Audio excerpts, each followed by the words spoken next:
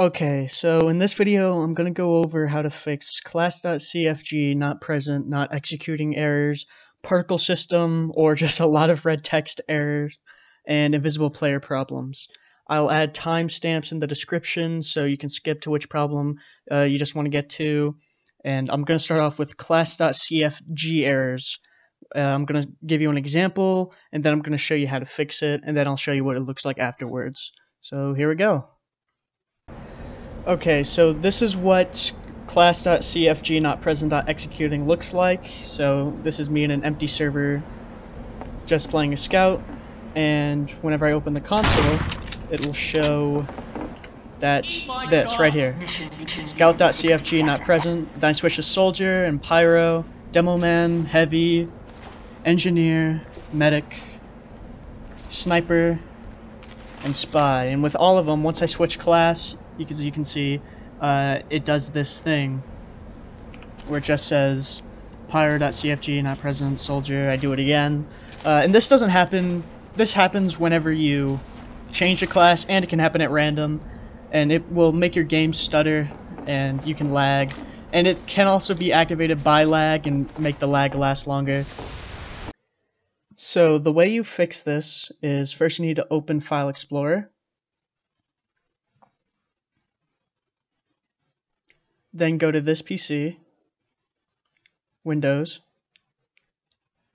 Program Files 86, then go down to Steam, Steam Apps, Common, Team Fortress 2, TF, and then CFG. And before you do anything in here, you need to click on View, and then activate File Name Extensions, and as you can see it changed the backs so now the .cfg and .txt is being shown.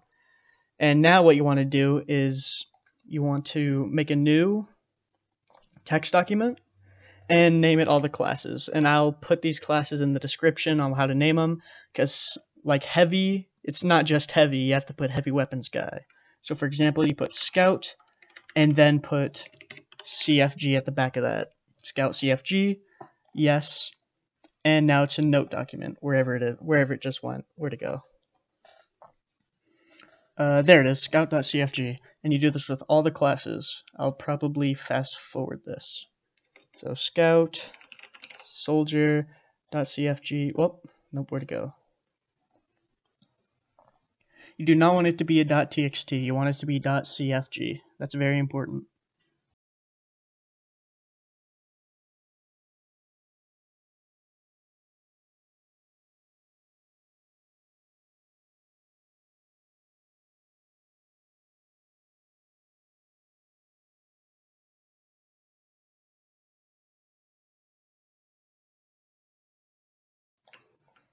And finally, spy.cfg.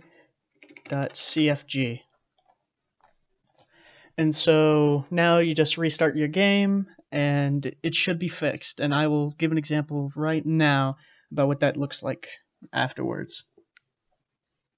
Okay, so I joined right back into the game and I'm gonna look at the console, I'm gonna change classes.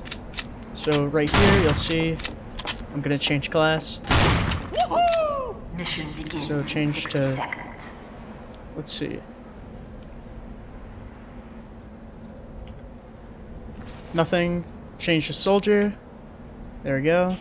Change to pyro. Right there.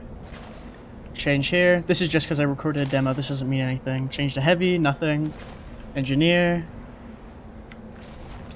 Medic. Sniper.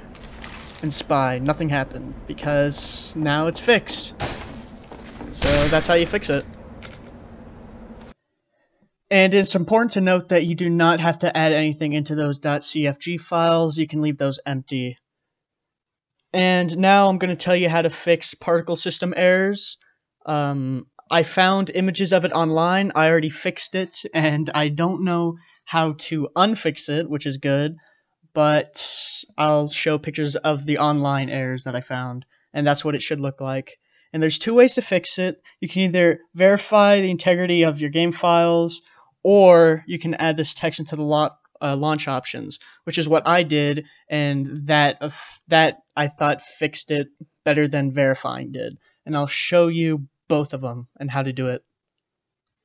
Okay, so the way you fix this problem is you need to open Steam, and you need to go to your library, Games, right-click on Team Fortress 2, then open Properties. Once you're here, there's two things that you can do you can either go to localization files and click on verify integrity of game files. Uh, personally, that didn't work for me. Or you can go to general, set launch options, then put this in. I'll put this in the description to copy and paste, but to read it out loud, it's uh, dash force underscore vendor underscore ID space 0x10 capitalized DE space dash force underscore device underscore i. Then once you have that, you can press OK and close.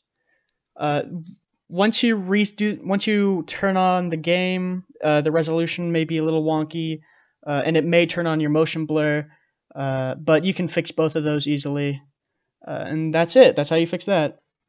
Okay, so now we're on the last part, which is the invisible players glitch. So what this is is I'll give you an example.